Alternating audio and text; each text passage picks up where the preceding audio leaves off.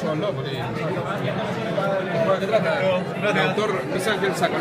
Este juego es un juego peruano, muchas gracias, es un juego peruano ambientado al tema eh, político y social. ¿Ya? Acá vamos a encontrar temas de combates, de basura, de políticos eh, progresistas que han hecho algo malo.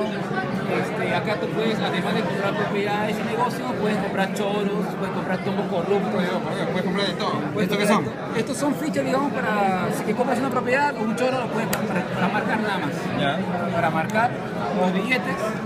Este, los billetes son especial porque tienen la cara de Montesinos, la cara de Chino, la cara de Rómulo, de Burga y de Chujade. En las futuras versiones va a estar la cara de Alan García, de Ollanta, de Nadine, de toda esa gente, toda esa mancha. 100% nacional. No hay problema.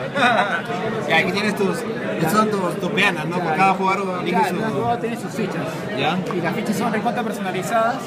Este, fueron hechas en cerámica blanca, horneados dos veces y picados cada uno a mano.